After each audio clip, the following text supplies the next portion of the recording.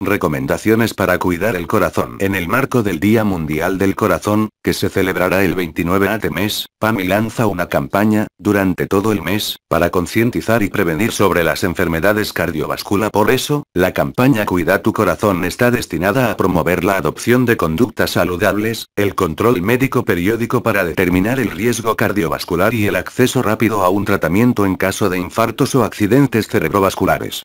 Es fundamental conocer cómo está tu corazón. Entérate, consulta al médico y está atento si presentas alguno de los factores de riesgo. Sumate a la campaña en Twitter con el hashtag Cuida tu corazón.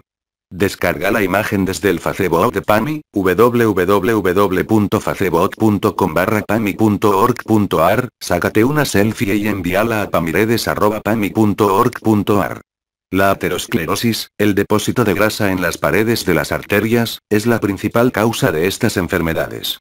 Esta aumenta con el sedentarismo, la diabetes, el colesterol, el exceso de peso y también por factores hereditarios, las personas con antecedentes familiares son más propensas a padecerlas, es importante una dieta sana de base de frutas, verduras, carnes magras, reducir el consumo de sal, alcohol y grasas, realizar actividad física regular, unos 150 minutos por semana, no fumar, controlar la presión arterial, que tiene que ser menor a 140, 90.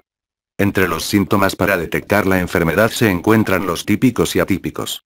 Los atípicos más frecuentes son el dolor de espalda, mareos, náuseas, indigestión y falta de aire mientras que el típico es el dolor de pecho intenso. Las muertes, en el país, son una de las principales causas de muerte evitable. Te invito a suscribirte, a mi canal que estaré renovando información sobre este tema que perjudica a cientos de miles de personas en todo el mundo. Ah. No te olvides de darle a me gusta. Desde ya muchas gracias por ver este vídeo.